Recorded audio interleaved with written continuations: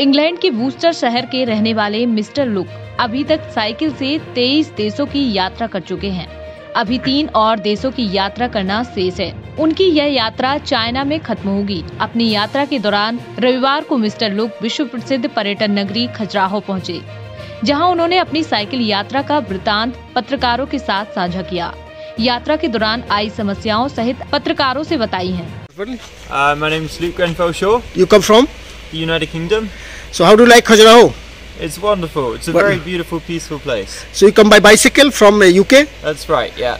How long? How long? It's taken me two years to get here. So how many kilometers now you already visit? I've already done 20,000 kilometers, How many country? 27 countries. And how many more maybe? I've got another three countries to go. Uh, which one? We've got Bangladesh, Myanmar, and China. Then after go back. After that, I'll have to go back. So how, how is your experience with bicycle? It's been very wonderful. Very you meet a lot of different people when you travel by bike, and it's the best way to understand and see a country. So this is very big long bicycle. You you feel some type problem somewhere?